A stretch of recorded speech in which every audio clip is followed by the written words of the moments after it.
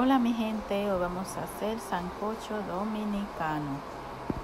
Primero que vamos a hacer, cocinar la carne. Luego pelamos los víveres, le agregamos los víveres.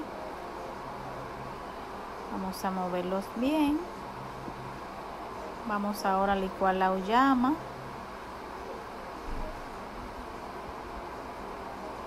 Vamos a agregarle la uyama después de licuada vamos ahora a esperar que hiervan que espese. Así quedó nuestro sancocho dominicano.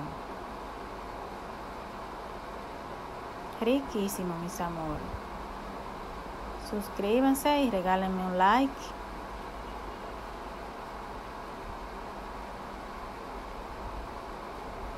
Así quedó nuestro sancocho.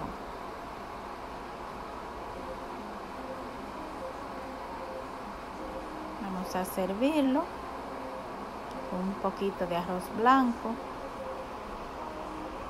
Así quedó, mis amores. Riquísimo.